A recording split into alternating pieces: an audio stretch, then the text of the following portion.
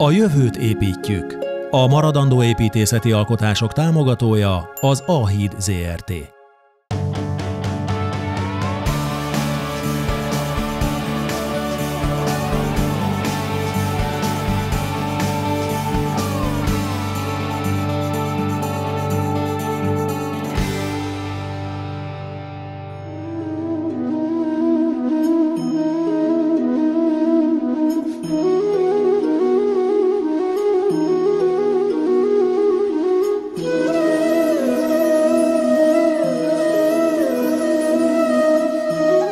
Sziasztok! A Taj Mahal, azaz a paloták koronája Szád Jahánnak köszönhető, aki ezzel az épülettel szeretett volna örök emléket állítani gyermekszülésben elhunyt feleségének.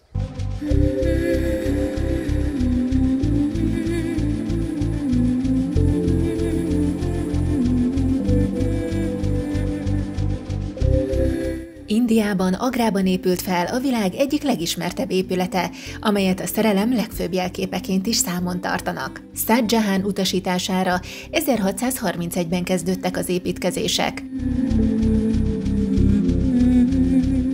Építéséhez a makranai bányából hozták a fehér márványt, ami mintegy 320 kilométerre található az építkezéstől.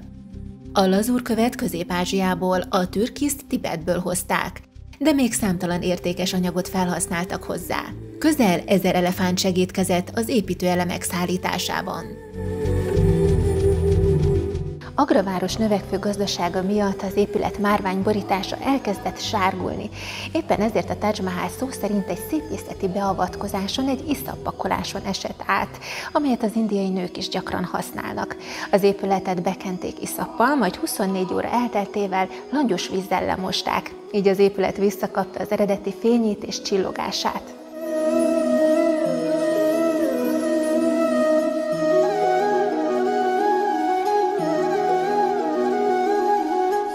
A teljes komplexum körülbelül 1643-ban készülhetett el, de a díszítő munkálatok egészen 1647-ig elhúzódhattak. A fehér márványépület a hajnali fényben a legimpozánsabb. Ha körbesétáljuk, jól látható, hogy mind a négy homlokzata azonos, boltozatos ívekkel és korán idézetekkel, valamint jáspis és más drága kövekkel van díszítve. A gépek térhódítása előtti időkben az építészek így megalkották a lehetetlent. Két oldali szimetriát hoztak létre, a központi tengely mentén mindenhol.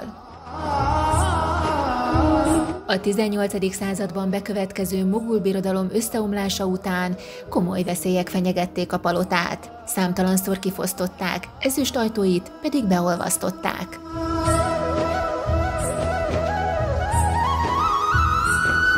Egy legenda szerint Szent Jahan elrendelte, hogy az építkezésen résztvevő munkásokat megcsonkítsák és megvakítsák, azért, hogy a Taj Mahalt soha senki ne tudja reprodukálni. A történészek ezt soha nem tudták bizonyítani, de az tény, hogy az építkezések során nagyon sok munkás szenvedett különböző sérüléseket.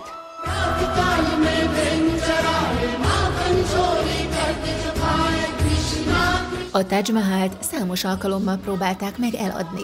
Egy csaló ügyvéd például különböző turistáknál csekély összegekért próbálkozott hivatalosnak tűnő eladási okiratokkal.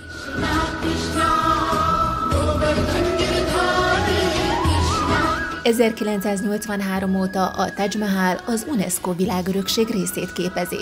India leglátogatottabb turista látványossága. Évente több mint két és fél millió látogató keresi fel. 1996-ban felkerült a világ 100 legveszélyeztetettebb műemléke közé is. 2007-ben pedig a világ 7 új csodája közé választották. Mához egy hétre ismét egy világhírű épületet mutatok be nektek, amelynek szintén érdemes lesz megismerni a történetét. Sziasztok!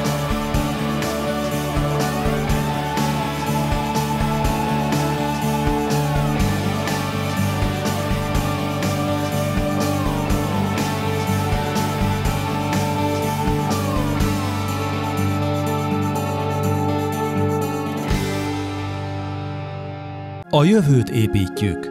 A maradandó építészeti alkotások támogatója az Ahíd ZRT.